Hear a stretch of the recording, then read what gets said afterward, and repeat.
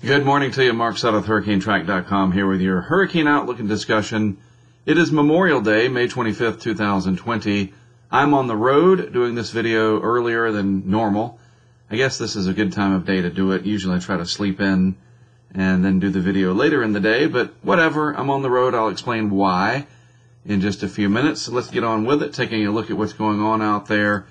We will start off with a look at sea surface temperature anomalies. This last updated on May the 23rd, so it's just a couple of days out of date, but that's okay. It's still pretty accurate. You see our developing La Nina out here in the tropical Pacific. And wait until I show you this on a graph in just a moment. These cold anomalies uh, starting to set up out here and that is going to have a lot of implications for the hurricane season ahead, as well as overall weather patterns for the globe. Think of this as a giant thermostat out here throughout this region, and when you take the thermostat and cool it off, that's a large area of the Pacific that's cooling, or if you heat it when you get an El Nino, you, you get all kinds of different impacts. We are most concerned with how this cooling out here will affect the Atlantic hurricane season and to some extent even the eastern Pacific hurricane season over here. Uh, but we do con- continue to see this cooling off, whereas in the Atlantic, for the most part, the main development region and really the tropics as a whole, warmer than average with colder anomalies up here in the North Atlantic. Uh, so the, the heat seems to be concentrating here south of about 30 degrees latitude which is a little bit wider spread than normal. I mean, in the most active seasons, you see a majority of the heat concentrated right in here, south of 20 degrees latitude. But the fact that we're not seeing warmth all up and down longitudinally uh, means that it's still it's it's pretty much concentrated. You understand that if it's if it's warm everywhere, you don't have an imbalance, and the warmth seems to be concentrating for the most part, uh, again, on average, 30 degrees latitude is about right there. So south of there is where most of the warmth is. And that should focus the upward motion, the instability, and give us a pretty active hurricane season ahead. No surprises there. We've seen this coming for several weeks to perhaps months.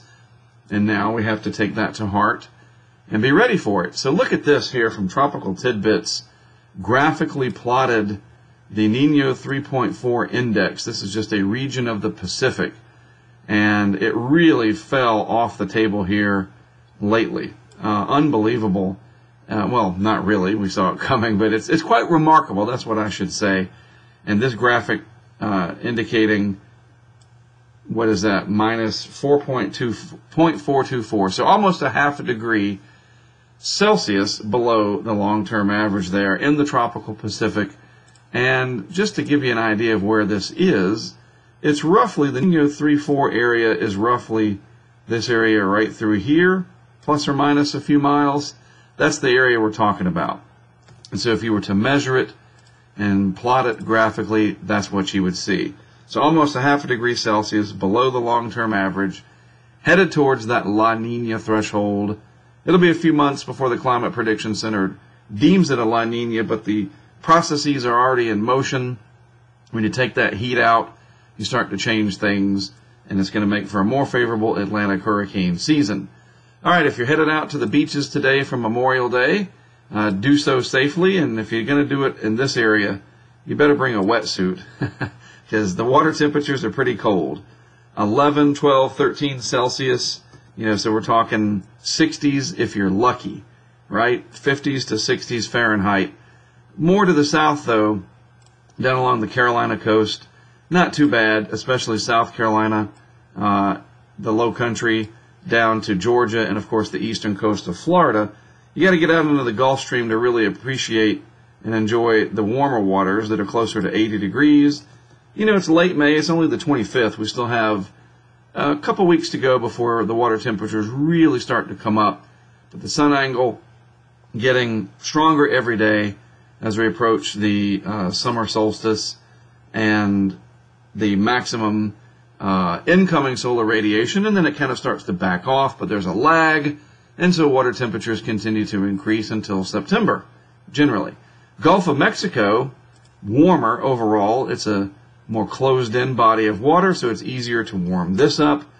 Uh, for the most part, except for this area right here that I'm highlighting in red, and this one little island right here of cool, most of the Gulf, I say cool, is 26 Celsius. And folks, that's the magic number. I, I do this in Celsius and Fahrenheit. 26 degrees Celsius is typically the threshold of water temperatures that you need to give off enough moisture and heat and latent heat especially um, in, in to create tropical cyclones 26 celsius or about 80 degrees fahrenheit 79 80 degrees something like that and so that's what we're looking at here that's what these contours show these are in degrees celsius so you know just outlining it here this is your 26 celsius isotherm line of equal temperature right there so the Mississippi, Alabama, Gulf Coast, all the way around to Texas, 26 to 27 Celsius.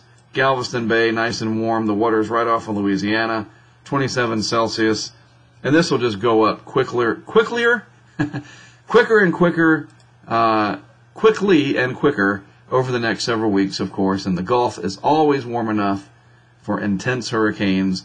But you guys be careful out there. Please refer to uh, if you're at the beaches, all right, you know, I appreciate you guys. I care about you. That's why I do this. Um, weather.gov. Okay, you're going to the beach. Just do me a favor. Put in weather.gov. Put in the zip code of the area that you're going to, or the name of the town if you don't know the zip code. Gulf Shores, Alabama, Galveston, Texas, whatever the case may be. Myrtle Beach, South Carolina. Put that in in the little search bar under weather.gov and look for any hazardous weather outlooks beach hazard statement, anything like that, anything in red is an alert, and you should be paying attention to that. Red flag um, at the beach, you know, for dangerous surf conditions, rip currents. We need you back because if you can't watch the video because you died, that doesn't do anybody any good. Seriously, so be careful out there. All right, on to current conditions. What's going on? Well, the Eastern Pacific trying to develop its first name storm. We've already had one depression out here uh, a few weeks ago that never made it to name storm status. Now we have this area south of the Central American coast and the extreme southeastern Pacific, 40% chance of development. Over the next five days, some energy is coming in in the form of this convectively coupled Kelvin wave, this wind shift that's going to kind of set up down here, some westerly winds coming in uh, going up against the easterly trades, and you just get this general turning, and vorticity gets enhanced, moisture, all kinds of things, It's like a Red Bull, you know, to perk you up a little bit. Well, the these convectively coupled Kelvin waves do the same kind of thing in nature. Eh, at least that's a simple way to put it. This region looks to get active over the next few days, and I expect that we will see a tropical cyclone develop out of this and head up towards Central America somewhere down here. So Guatemala, El Salvador, and this area along the southern part of the Yucatan Peninsula, bordering down to the Pacific. You need to be watching this carefully, as I do think we're going to get a tropical cyclone to develop over the next few days. All right, and we can see that a little bit on the satellite imagery here. This is the area that we're focusing on. Again, only a 40% chance right now of development but this energy is starting to move in. You're going to see more of a percolating effect of the clouds and more organization in the days to come. A few other interesting features. There's a little swirly right off the, uh, well, well offshore of Cape Hatteras. Nothing to worry about there. This is interesting, bringing a lot of rainfall across the Florida Straits, southeast Florida, the east side of the peninsula here. Moderate risk of flash flooding today. There is a tropical wave in there some broad turning, so there is low pressure down there. Uh, if this was August or September, this would probably very easily go on to develop into a tropical storm.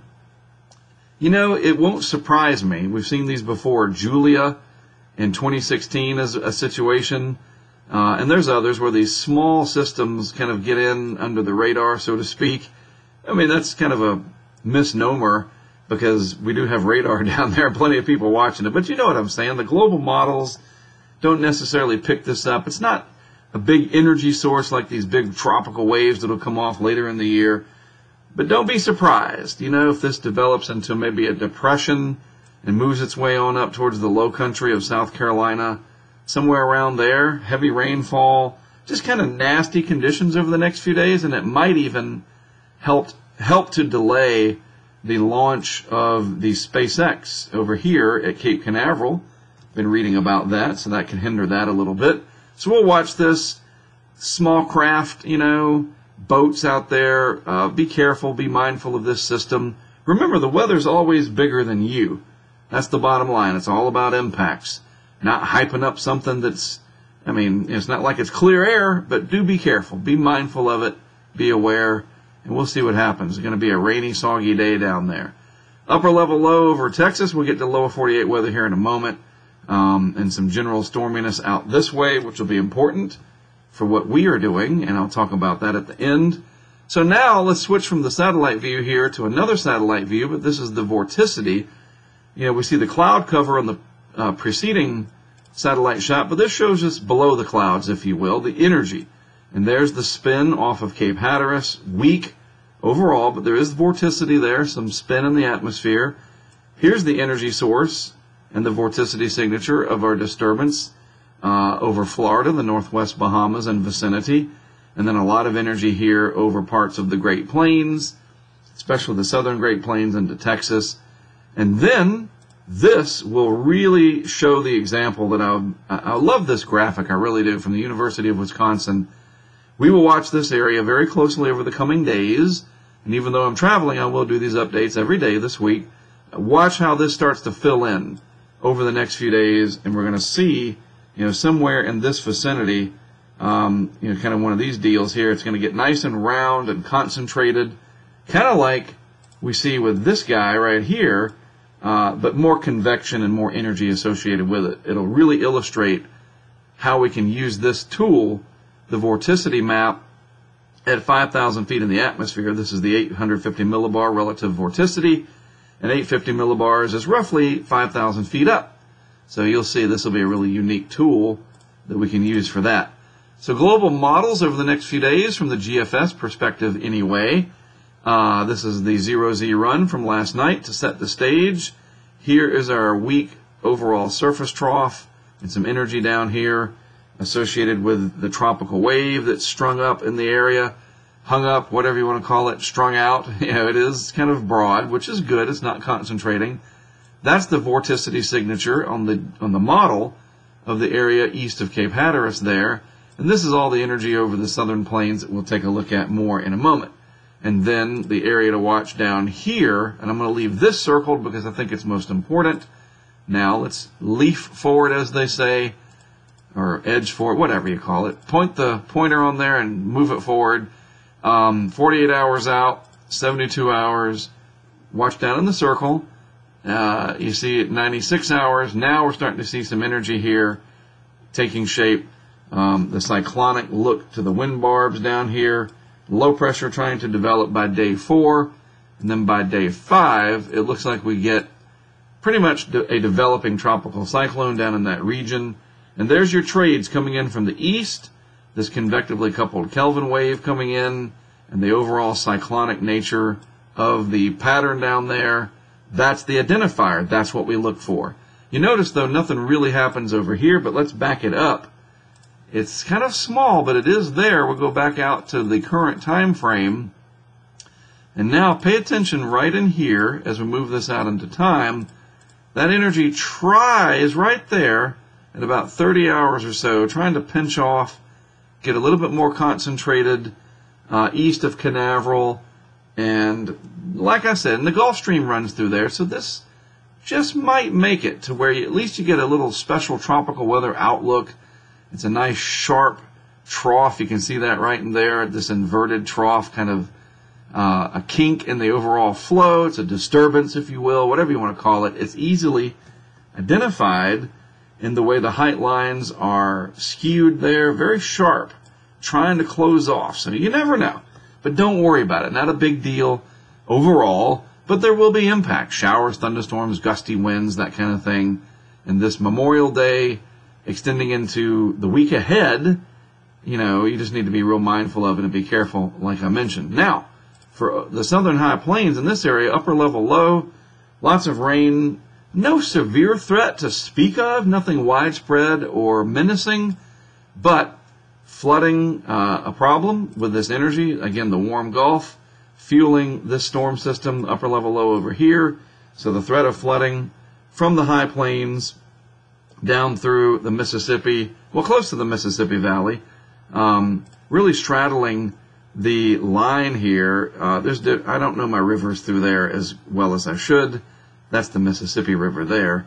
But um, basically, the southern high plains, Arkansas, Texas, Oklahoma, Kansas, western Missouri, you name it, um, the threat of flooding, slow moving storms, and even down here in Louisiana, let's look at this. When you see that light green along the coast, that's indicative of onshore flow, and a coastal flood advisory is in effect. See how easy this is? You just go in and look and you click on these things and they tell you what's up. And you know, flooding of lots, parks, whatever, flood advisory, minor coastal flooding, where, Vermilion, Iberia, St. Mary, etc. Very helpful if you go to weather.gov. I use it all the time.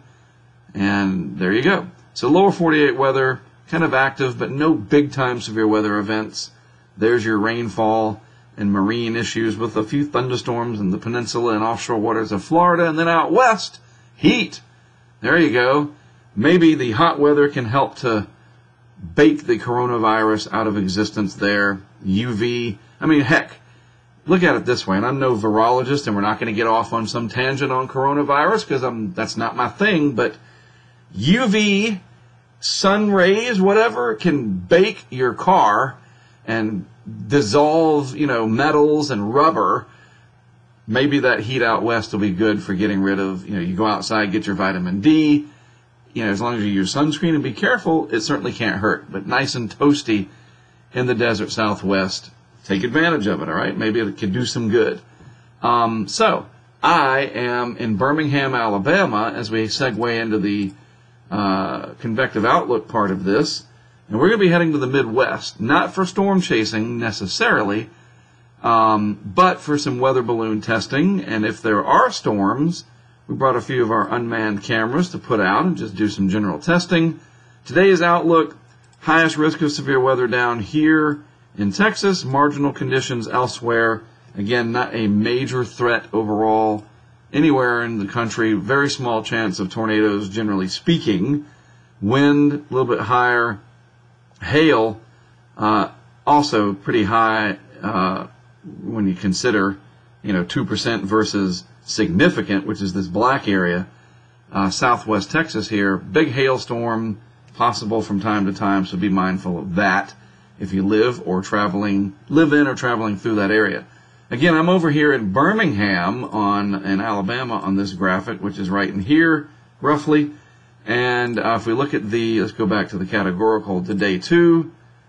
Eh, just general thunderstorms and the greens. Day three, even less overall, but then it starts to build in the Intermountain West over here. And by this time, we will have made our way over to Dodge City, Kansas. So now, what are we doing? Well, we got this weather balloon we call Herbie, the hurricane balloon, hurricane research balloon. It is a small payload with a sounding device in it that measures temperature, humidity, altimeter readings, etc., pressure, um, and that does it from the surface of the Earth to the stratosphere, actually 100,000 feet or more. And it's got a couple GoPros on there. We've been doing this for eight years now.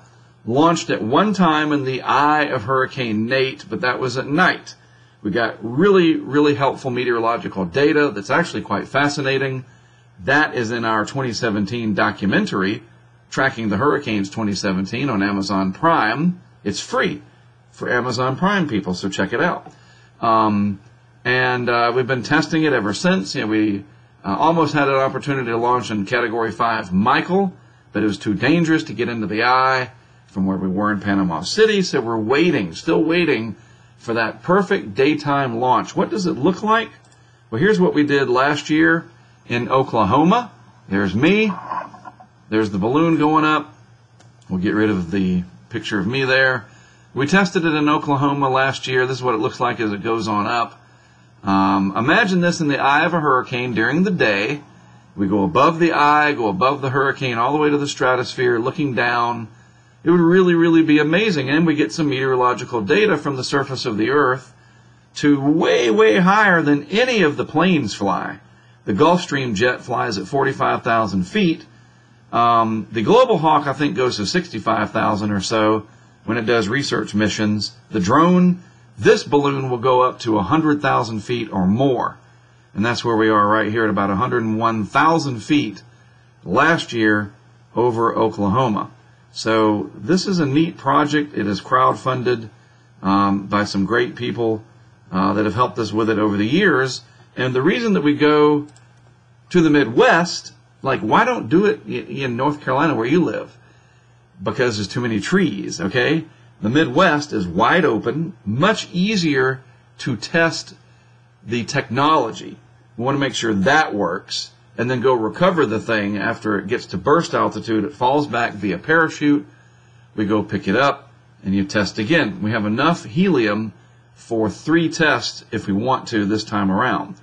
And so we're going to go to Dodge City, Kansas from Birmingham, Alabama today. We drove from Wilmington to Atlanta, picked up our colleague Brent, one of our crowdfunders also from St. John. My good friend Mike Farrow from Wilmington, North Carolina, known this guy since 1999. He's joining me, and we're going to go to go to go, going to go to Dodge City, and uh, that'll be our base camp for a few days. And while we're out there, we'll zoom in over to Dodge City over here. Um, it's not that far from uh, you know the front range of the Rockies. There's Dodge City there. This whole, whole area of Kansas, nice and flat, nice grid system of the roads you know, grid, trying to make a grid there. You know what I'm saying. North, south, east, west roads, easy to get to where we need to go to pick that thing up after it lands. But while we're there, we're going to test some of our equipment. You know, there will be thunderstorms out there from time to time. Nothing widespread. We know that. We're not out there to storm chase necessarily. But what if we do launch near Dodge City and there's a nice cluster of storms over here somewhere or maybe out to the west?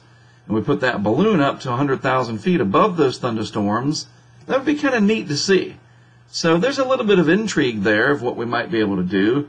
Um, and the front range of the Rockies, not too far over to the west, right? And we brought cameras to do some time lapse, some cinematography.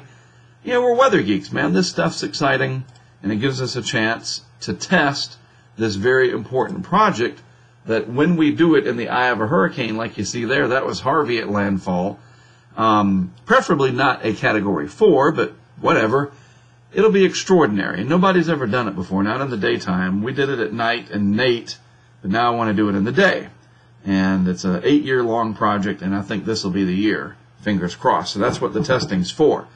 You folks will be able to watch everything we do. Our patrons on Patreon are helping to support this. And so what we're going to do is we're going to have this really unique look through our vehicle cam. And we're doing some testing with one of our supporters down in Orlando. His name is Mike as well, Michael Cornelius. He has come up with a way to do overlays on the stream. We can bring in people via Skype. I mean, it's when you see this, this enhanced vehicle cam, if you will, basically our everywhere cam, we're going to leave this up pretty much the entire next several days free, if you will, for everybody. We want it out there for the public because it's supported by our crowdfunders. You understand? So that greater good aspect now comes into play. We're going to test some things with that, see what works, see what doesn't. But I think you're really going to like this new version of the everywhere cam, the vehicle cam, uh, on YouTube. And when we go live, you'll see it and you can uh, chime in. The chat will be active. We'll have some moderators in there. And I'm going to warn you right now, I feel like dad talking to his kids. Anybody goofing off in there, you're gone. I'm not going to have any tolerance for that. Any kind of BS, and we're going to just throw you off the chat on, on the YouTube chat. Our Hurricane Track Insider chat for our supporters, we never have a problem because usually people don't pay money and then become a you know what. So, a troll or whatever. But seriously, on the YouTube chat, keep it under control or you're gone. All right? So there you go. I have to play dad here for a little bit. I got good experience with that, that's for sure. So there you go. I know this is lengthy, but it's Monday. We got a lot to talk about. And the beauty of this is, if you don't like to hear me talk for a long time, you can turn it off. Doesn't hurt my feelings. But if you like all this and you watch the whole darn thing, you learn something. And I think this is pretty cool stuff, and I appreciate your support, whether you're a patron or you're just watching. It all matters. I appreciate it very much. It's good to have you along. So look, in a couple of hours, we'll fire up the stream. If you're following me on YouTube, if you're a subscriber, put that notification on so that when I go live, you'll know you'll get a notification.